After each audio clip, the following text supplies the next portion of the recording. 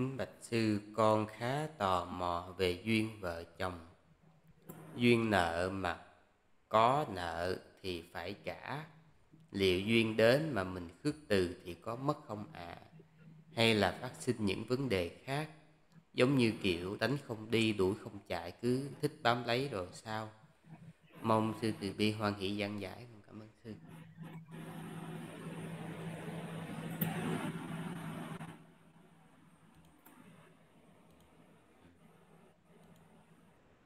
Tôi hỏi quý vị là thứ nhất á, ai bắt mình trả? Quý vị nói là duyên nợ vợ chồng có, phải trả. Tôi hỏi quý vị, ai bắt quý vị trả? Tự cái tham ái của mình đòi mình trả cho ai bắt mình trả? Tự cái tham dục mình bắt mình trả chứ không ai bắt mình trả nên vấn đề là do mình. Rồi đó, cái gì cũng vậy, mình phải đặt câu hỏi là có dạy như vậy hay không? Nhiều người đi tu, xin đi tu mà lạ lắm, người ta nói bây giờ có duyên, có nợ thì phải trả, chứ không trả tu không nổi sư thấy lạ lắm. Tại vì ở trong kinh á, rất nhiều vị bỏ vợ để đi tu, rất nhiều vị bỏ chồng rồi đi tu. Chứ đâu, không bao giờ sư thấy trong kinh mà có một cái câu đại loại là bây giờ phật nói sư ví dụ nha à, phật hoặc là một cái vị tăng nào đó ở trong kinh nói thôi bây giờ con còn nợ nghiệp trần nhiều lắm còn nợ duyên trần nhiều lắm thôi ở nhà lấy vợ trả nợ đi.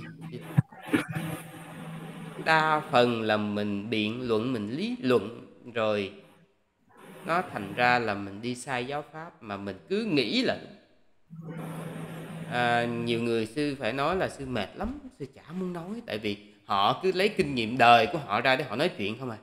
Mình đang nói chuyện đạo mà họ cứ lôi cái kinh nghiệm đời ra thì sư không có một cái chỗ gì để sư có thể nói được hết. Cho nên á à, nếu mà quý vị hỏi theo kinh thì như thế nào thì như thế này.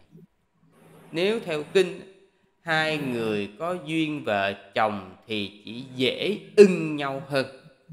Tức là nhìn nhau là dễ ưa nhau hơn nhìn nhau là tự nhiên à, là mình ưa nhau liền mình mến nhau liền mình thương nhau liền thì cái đó có nó dễ. Nhưng điều quan trọng là mình bỏ được chứ. Đức thế ôn ngài duyên nợ với bà giao du đà la à, đã bốn a tăng kỳ một trăm ngàn đại kiếp ngài cũng bỏ để ngài đi tu mà. Cho nên là mình đừng có đem cái um, cái ý của đời để mà mình ráp vô à, thì nó rất là kẹt. À, không sao hết trơn. À, sư còn cái vụ gì nó đánh không đi đuổi không chạy cái thích bám lấy. Sư là một ông thầy chùa. Cho nên vì sư là một ông thầy chùa sư thấy chuyện đời nó nhiều cái lạ lắm. Nhiều cái buồn cười lắm mà cười ra nước mắt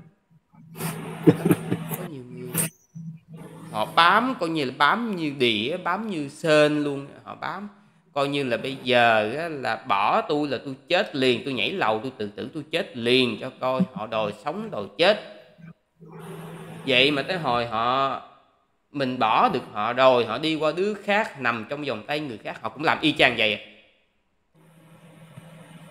họ cũng bám bám người ta mình cũng nói là bây giờ anh mà bỏ em là em chết liền cho anh coi trong khi đó hồi xưa họ ở với cái người này họ cũng nói y chang như vậy. Mà sư không phải sư chỉ thấy một vụ mà sư thấy nhiều vụ. Rồi cũng có người vợ chồng son với nhau sống với nhau. Coi như tới cái hồi mà anh chồng ảnh chết là bà vợ bà thiếu điều bà muốn chết theo luôn á. Người ta phải cắt cử người ở chung canh chừng bà chứ. Sống ra là coi chừng là bà nhảy lầu để bà, bà đi theo chồng á à, khi mà mấy sư tới thì phải nói là xỉu lên xỉu xuống hoặc là tay phương tây họ nói xỉu ấp xỉu đau á. À, xỉu lên xỉu xuống. Uhm, khóc cứ khóc ngất như vậy đó. Ừ, vậy mà xong tắm, tắm tay chồng xong lấy thằng khác rất là rất là tỉnh bơ hả? Cho nên là mình đừng có ảo tưởng. Đừng ảo thế đời nó như vậy đấy. Khi mà cái tham ái lên người ta cứ nghĩ người ta sống chết vì nhau được. Nhưng đến khi mà nó hết duyên rồi người ta mới phát hiện người ta có thể sống sống chết vì cái đứa khác được chứ không riêng gì với cái đứa này. Cho nên là biết cái chuyện đời thành ra nản lo tu dục sư. À, chứ còn mình vẫn cứ mê thì không có ai mà kéo mình tỉnh nổi hết trơn. Không biết đại đức đại tường có cái nhìn như thế nào về vấn đề này? À, kính thưa để đức kính thưa quý vị Để đức anh Tại đã phân tích uh, rất là sâu sắc về cái cạnh mà gọi là thế gian á. Cái cạnh mà phương pháp thế gian á, cho quý vị hiểu về cái, cái vấn đề mà duyên nợ. Tại vì nếu mà thật sự mình không có thấu hiểu được cái vấn đề mà chữ duyên nợ về cái khía cạnh thế gian á nếu như đức anh tại nói là mình ra mình ảo tưởng rồi mình mình nghĩ đó là cái cái là sai cái sai. Mình nghĩ là đúng cái khổ mình nghĩ này là sướng. Nó rất là nguy hiểm rồi. Nó làm cho quý vị đau khổ ngay trong hiện tại này luôn. Rồi đau khổ ngay trong sinh tử luân hồi nó chứ phải đơn giản. Khi mà nói về gọi là gọi là đúng thuần tí thưa vị gọi là duyên vợ chồng đó nha. Ở đây sử dụng cái tội gọi là cái chữ mà duyên vợ chồng theo đúng tinh thần mà Phật pháp là Đức Phật dạy nếu quý vị là một người nam đến với một người nữ hay một người nữ đến với người nam mà đúng nghĩa từ đúng nghĩa thuần túy gọi là duyên á, có duyên có duyên gọi là gọi chính xác là duyên Phật pháp chứ phải là duyên vợ chồng nữa. Tại nó ở mức mức cái tầm cao hơn à. thì người đó gắn bó nhau á như là Đức Phật dạy á hai cho hai ờ, vợ chồng cư sĩ nát cú lá quý vị phải tìm được bốn cái pháp này. Đó là gì? Đó là đồng tính đồng giới đồng về giới hạnh đó đầu tiên là đồng tính nghe đồng về cái niềm tin đó. cái niềm tin là sao? Cái niềm tin là là là phải hướng đến tam bảo hướng đến nhân quả, hướng đến giải thoát sinh tử luân hồi, hướng đến tin vào nghiệp quả của nghiệp. Rồi lại hướng đến cái, đến vấn đề đồng giới hạnh và phải hiểu về giới, cùng nhau giữ giới. Rồi à, uh, đồng về đồng thí nữa. Có cái sự có cái lòng hào sản có cái sự bố thí. Và cuối cùng là đồng đồng về trí tuệ. Thì mới đó cái đó mới gọi là duyên quý vị. Nghĩa là duyên vợ chồng đó. Duyên vợ chồng ờ, theo đúng tinh thần là Phật dạy còn nếu quý vị mà đến với nhau như Đức Hình Tại nói thật sự mình thiên về tham ái rồi mình rồi mình đó cái phiền não mình nè cái do cái phiền não mình nó dẫn dắt.